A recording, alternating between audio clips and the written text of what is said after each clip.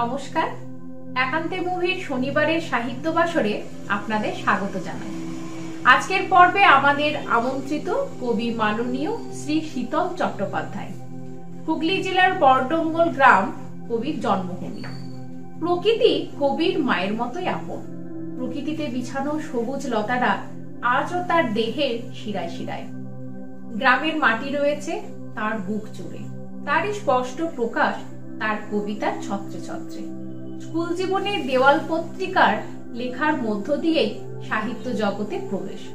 পরবর্তীকালে তার শ্বশুরমশাই জাতীয় পুরস্কার প্রাপ্ত শিশু সাহিত্যিক সুনীতি মুখোপাধ্যায়ের সান্নিধ্য ও উৎসাহে নতুন করে সাহিত্য সেবায় নিজেকে সঁপে দেন কবি শীতল চট্টোপাধ্যায়। নমস্কার। কবিতা প্রণতি পরশ।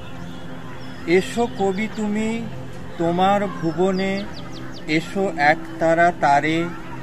তোমার গানেতে ভিকারিও বাঁচে, গান গেয়ে দাঁড়ে দাঁড়ে শিশুদের শুরু সহজ বেলাটা, লেখা যে সহজ পাটে সে সহজ পাটে তোমাকে নিয়েই শিশু পাঠশালা হাঁটে। নদীকে কাব্য দিয়ে গেছ কবি পদ্য দিয়েছ মাঠে, তোমারই দেওয়া বক্সিগঞ্জে চাষিরা চলেছে হাটে। মন সাঁকো জুড়ে তোমার ঠিকানা খুঁজে পাই জোড়া সাঁকো।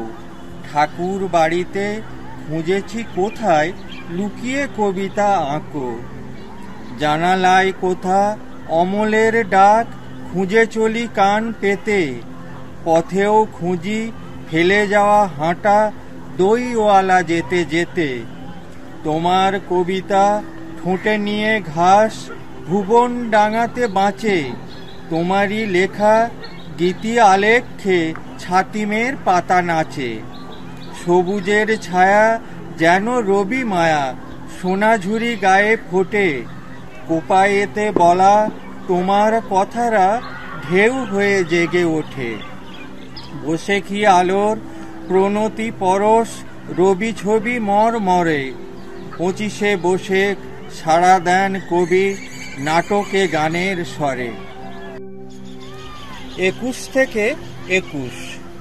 একুশ থেকে একুশ বছর পিছনে তাকালে স্বচ্ছতার বহমানে এক তারুণ্য নদী।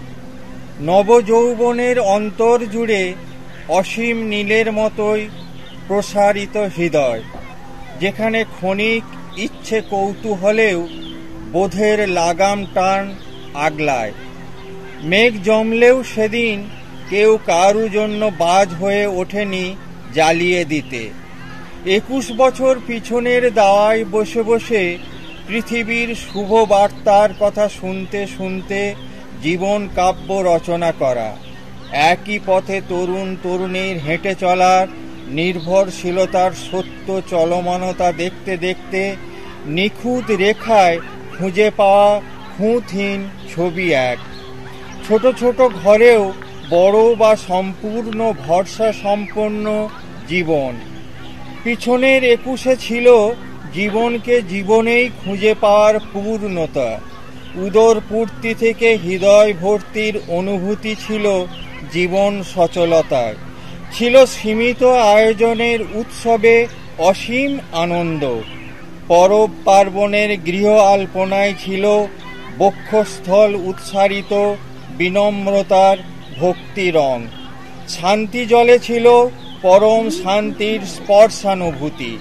ঠিক আজকের একুশে ওই অবস্থান উপস্থিতি অনুভূতি প্রাপ্তির পড়ে থাকা ধ্বংসস্তূপের অবশিষ্ট কিছু। জীবনের জন্যই। জীবনের জন্যই মরণ শব্দ উচ্চারণ। কোন জীবন, কতটা জীবন পথের যাত্রী জানে না জীবন। জীবন আছে তাই জীবনের সঙ্গে সংযোগ বিচ্ছেদ শব্দ বাস করে। একটিমাত্র জীবন ঘরেই আলো আধার, অনুরাগ বিরাগ, হাসি কান্নার সহাবস্থান। জীবনের জন্যই বাঁচা অন্বেষণ, জীবনের জন্যই ঝড় ভয়, আবার বৃষ্টি রামধনু জয়। জীবন লেখনের জন্যই ঝর্ণা সুন্দর পদবি পায় নদী, নৌকো তারটানা ভাটিয়ালি, স্বরে সুরময় হয়। জীবনের জন্যই জীবনকে লুকিয়ে ফেলা আকস্মিক আক্রমণের আভাস থেকে। সরিয়ে রাখা কামড়ানোর দাঁত আর আজড়ানোর নখের নাগাল থেকে। জীবনের জন্যই বিপর্যয়ের দৈনন্দিনতা পার হতে কত আয়োজন, প্রয়োজন, গ্রহণ, বর্জন। দেহ কাঠামোয় তৈরি জীবন মূর্তির জন্যই বেজে ওঠা শাঁখ, ভরে ওঠা খুশি, ঝরে পড়া কান্না। অশেষ জীবন সূচি। সময় বলতে চিনি, দিন রাত আধা আধা। আলো আর কালোতে সময়ের দেহ বাঁধা। একই সেই রূপেতেই সময়ের অসময়। যে সময় অনায়াস জীবনের শুধু ক্ষয়। বাতাস বইছে ঠিক, গাছে ডাকে পাখিরাও। মেঘ আর বৃষ্টি আসা যাওয়া আছে তাও। আলো ডানা ছড়িয়ে উঠছে তিথির চাঁদ। আকাশ দেখছে নিচে মানুষের মরা ফাঁদ। কৃষ্ণচূড়াও তো সেজে আছে তার লালে। মানুষ পড়েছে আজ অসময় বোনা জালে। বিছানা রোদেও চোখ দেখছে শুধুই ছায়া। মাটি কোলে মানুষ দ্রুতই কাটায় মায়া।